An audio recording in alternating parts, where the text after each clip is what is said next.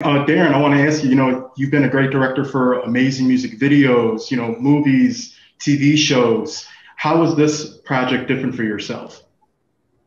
Um, I haven't done a movie in a while, and as I told Wendy, you know, it had to be the right one. So for me, it was special. Just you know, Wendy and I talked about this. You know, I remember doing music videos in New York, and she was on the air, so I felt a connection. You know, to you know the the days when she was you know that shock jock, and um, so I remember you know we'd be doing videos, we'd be hanging out, and we'd hear Wendy's voice, and so it was important to me to uh, tell that chapter because it was a chapter that I lived as well.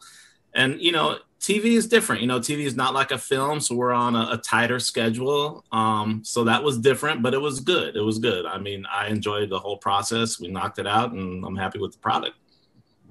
Thank you so much, guys. Appreciate it. Thank you.